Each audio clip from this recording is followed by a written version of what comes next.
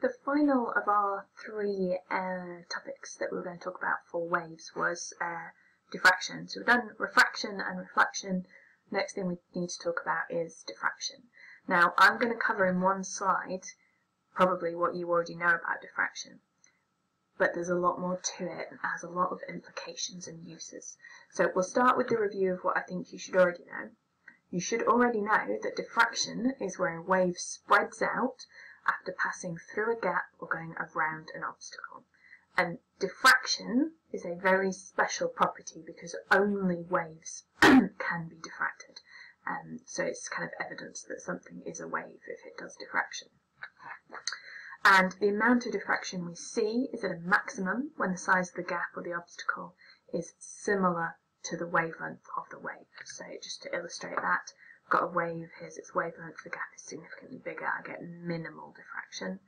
I've got a smaller gap that's much closer to the wavelength, I see a lot more diffraction. Okay, That's what I expect you to already know.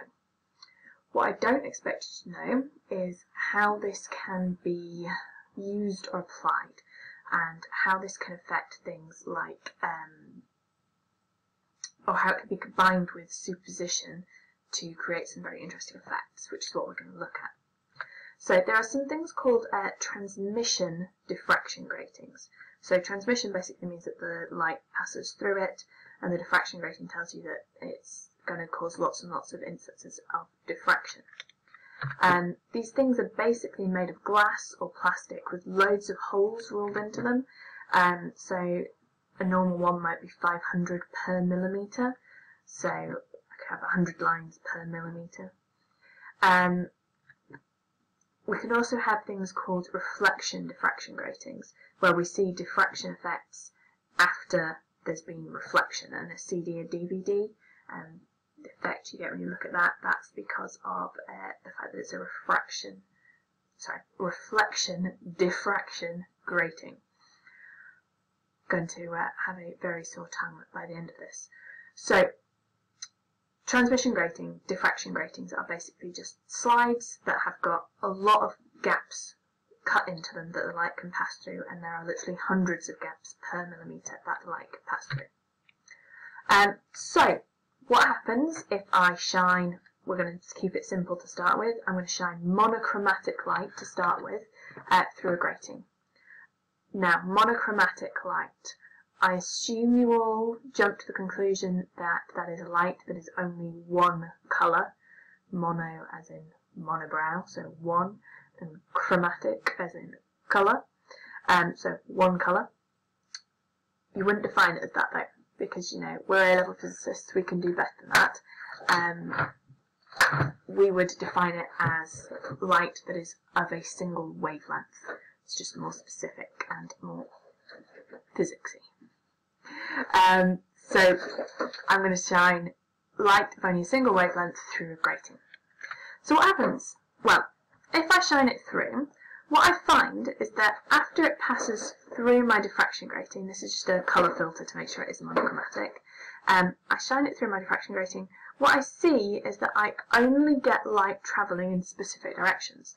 And in fact get lots of area where there is no light, which is interesting. So I just get a beam that goes straight forward, which we call the zero order, then I get a beam to the side of it that we call the first, second, third. I can get different numbers on each side depending on the wavelength of the light and the grating, but it will be symmetrical around this zero order, which is why they just number outwards from there and they sort of fan out.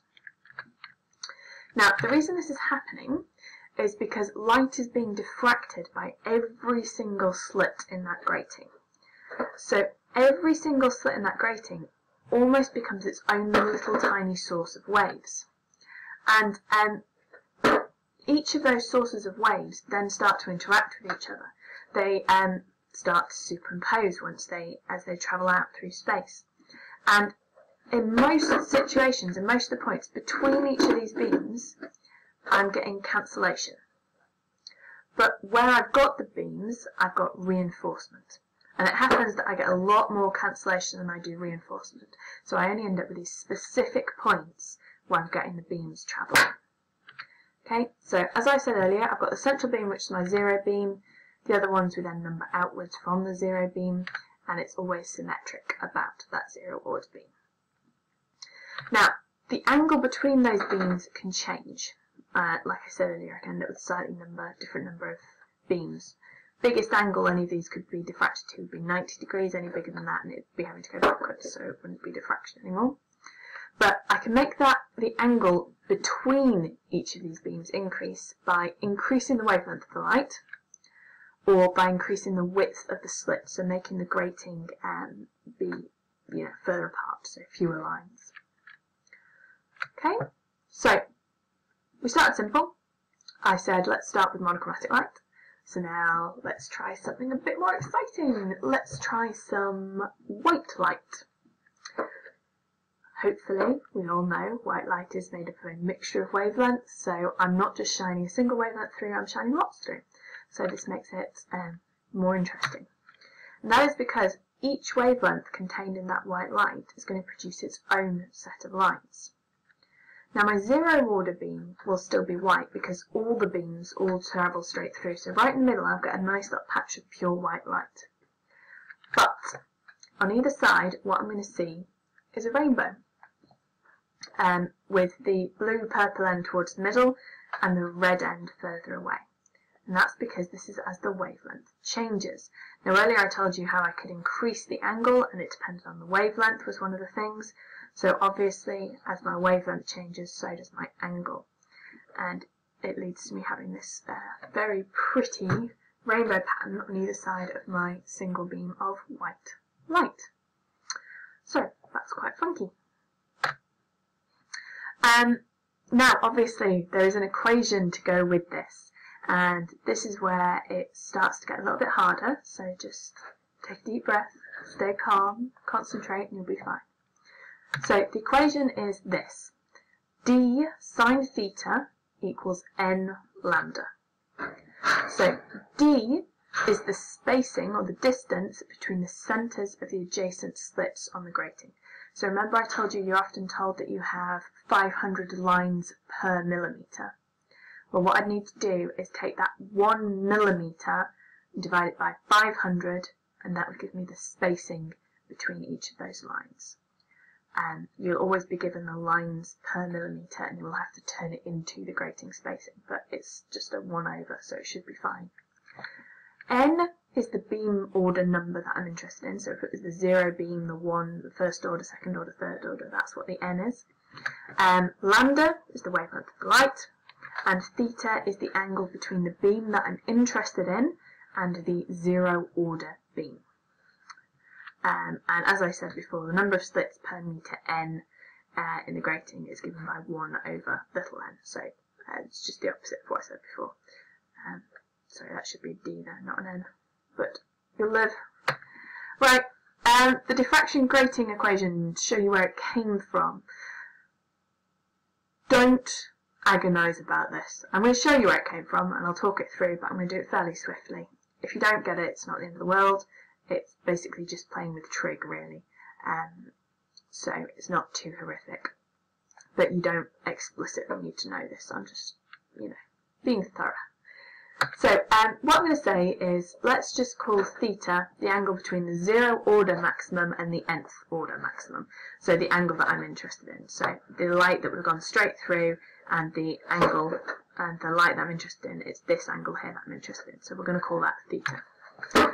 Um, in order for that to occur, the path difference between the light from the two adjacent slits must be equal to n times theta. So they must have travelled a different distance in order for them to um, be constructively interfering. And if you remember when we talked about superposition, I said that I get constructive, I get reinforcement when I get two peaks arriving at the same time. So in order for it to be a peak to arrive and then for the other wave to also arrive at a peak, the difference in the distance they must have travelled must be a whole number of wavelengths because the distance between a peak and a peak is a wavelength. So it must be a whole number of wavelengths away. And what we're saying is that the number of wavelengths that that path difference is must be equal to the beam order. So if it was just one path difference, that one wavelength difference, then that would be the first order beam. If it was two, the second, and so on and so forth. Um, so looking at the way I've drawn this here is I've said, right, so this is my zeroth order, this is my beam, this is my angle. Well, if I put a right angle triangle between these two adjacent slits and their light beams, what I find is that I should have theta here as well, uh, just by similar triangles. So my path difference must be this distance here, because afterwards they must have travelled the same distance. So this point here must be my path distance. And I know that sine theta equals this distance over this distance here. Um, so basically, I'm saying that sine theta is n lambda over d. Simple as that. Just using the opposite and the hypotenuse and a bit of trig. Um, and if I rearrange that, I then get d sine equals n lambda. I'm going to talk about path difference more. You do need to get that. Other than that, it was just spotting that there's a similar triangle and then playing with trig in a little bit of algebra. So why do we need to know about diffraction gratings? Basically because they are useful, mostly um, in spectroscopy and particularly for astronomy.